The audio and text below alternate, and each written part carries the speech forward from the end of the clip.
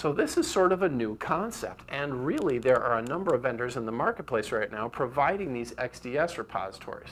The really nice thing about this is that there is a, nat a national health information exchange, uh, basically this NHIN program, which is really keeping the standards around this information very tightly controlled. And so it is, uh, you know, where we have run into it so far, it has been relatively easy to write to, read from, and the information has been relatively you know, discrete and where we need it to be. So this has been a pretty successful from, uh, from a lot of different angles. Uh, current places that are, uh, are, are, uh, are, are, enabling this, um, we have you know, in, in uh, Portland, Oregon, they've got a healthcare exchange locally at a hospital system. Uh, there's another one in Virginia. Uh, there are, you, may have heard the term RHIO, or Regional Health Exchanges. So this is the central, uh, this is the central technology behind a lot of these health uh, exchanges.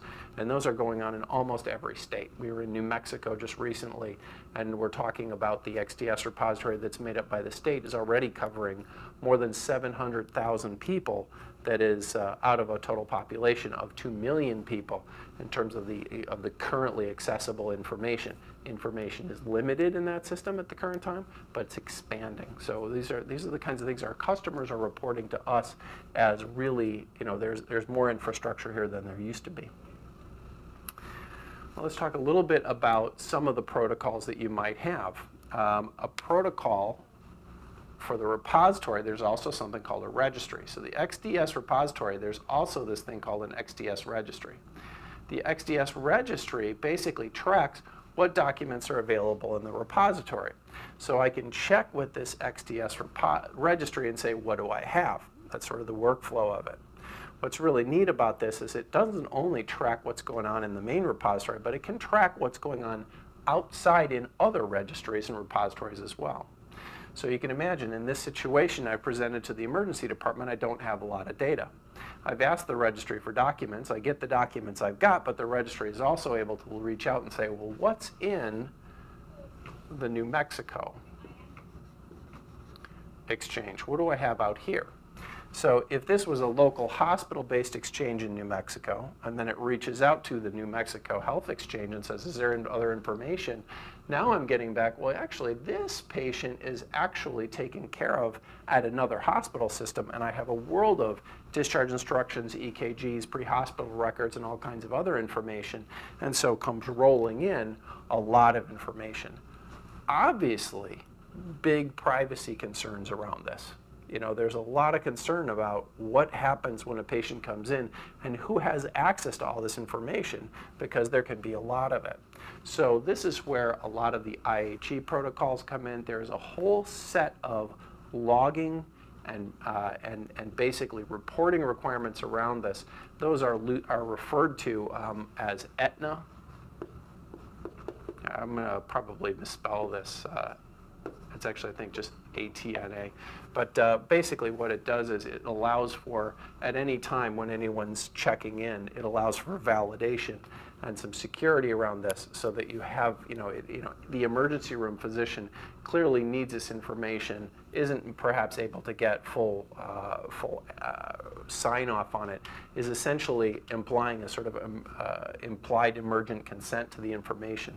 So how we access all of this is appropriately log and track through ATNA. So there is a lot of privacy around this. There's a lot of security around this, even more probably than a lot of the uh, a lot of the EDI transactions that have happened in the past. So this is something that you know we regard as a really great go-forward strategy for coupling these systems together. Let me talk just a little bit about the way this actually works inside of the emergency department product from Picis, the Pulse Check product, so that we can talk a little bit about in a real world example, in a real world health system, how would this all work together? So Pulse Check is the emergency department module from Picis. So there is a customer of ours that will remain nameless for the present that is out in the Pacific Northwest um, that has a very large outpatient system. And that outpatient system is from vendor A, okay, and is acquiring, you know, five or 600,000 records on patients per year and it's an important contributor to the main hospital system. they have an overall hospital information. I'm going to draw this up here. They have a hospital information system, and that hospital information system has all of those covered lives whenever they present to the hospital. So very important that the information comes into the hospital information system. And we run all their emergency departments. So in this situation, they have an exchange that was actually purchased from vendor A. And right now, the information is is passed from vendor A into the exchange every time a patient is registered out here. They update all the medications and allergies. Now, one of the things that our, our, our customer actually helped us with when we were starting to build this is we wanted particularly in an emergency department where things are very busy and there's a lot of uh, a lot of confusion and potentially multiple patients coming in with even the same last names sometimes. This is the kind of thing where we want no dumb questions for the clinicians is the bottom line. No dumb questions for the patients, of course, but even for the clinicians. So what happens when this patient presents to the emergency department is that when you go to say, I'm going to enter the allergies in the system. We don't have a button there that says, you know, do you want to go look for the information? We know the clinicians want all of the information. So when we go to that screen, we automatically look here, we present a list of all the allergies. All the allergies from this system, all the allergies that we might know in the past, and all the information from the, from the repository so that they're presented with one integrated, streamlined already organized list that says this is what we know about the patient. Imagine that from the patient's point of view. You would go from your physician's office complaining of right lower quadrant abdominal pain that looks like it might be an appendicitis. At that point, you arrive in the emergency department. And instead of the usual, what are you allergic to? It's, here are six things that we know you're allergic to. Is there anything else, or is any of this information not valid? You review it, and in a matter of seconds you have an updated record. That information is then passed back to the repository at the time, and that way they have the most updated list. So here in this situation, the operating room system is actually part of the HIS.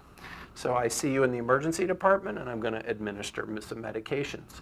When I go to medication orders, I'm presented with that same accurate list that was compiled from the clinical information from the emergency department uh, nurse but usual, but also it has been it has been in a clean and streamlined way organized from all the information from the different systems. So when I go to order a medication, I can be sure that there's nothing hiding, there's no source of information that hasn't been considered when I'm getting ready to give those medications. When I transfer that patient up to the operating room, the patient arrives in the operating room to have their appendicitis, all that information has gone up there. Now, there are a whole list of other documents that I might need. Previous surgical reports. I might want to know all of the previous cardiac catheterizations. If you have had a cardiac catheterization, having the result of that is going to be really important for the operating room visit. It's also going to be important in what I do in the emergency department for your care. So we also have the ability to show a list. And so what will happen in our system is the medications and allergies, which are critically embedded in the workflow, all that stuff will be automatically on all the menus for the nurses. But there's also an area where I can look at and say, okay, this is the list of other documents for Dr. Crockett that you might want to consider as relevant to this case. And I would say, I want to see that, load up the document, and all of that information is coming in from that exchange. So now, very much you know, as if it was all one system. Not only don't I have to ask the patient any dumb questions, I don't have to call up the doctors and ask any dumb questions because they have nicely contributed to this exchange.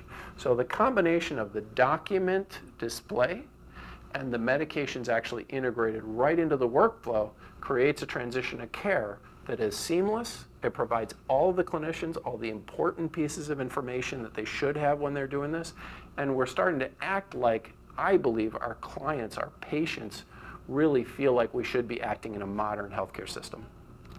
For more information on healthcare information exchange, uh, products, and information about uh, how we integrate with this, uh, our progress uh, in implementing the IHE protocols in healthcare information exchange, and my progress in handwriting lessons, which you can see are sorely needed here, please feel free to refer to the Picis website at www.picis.com, P-I-C-I-S. Thank you very much.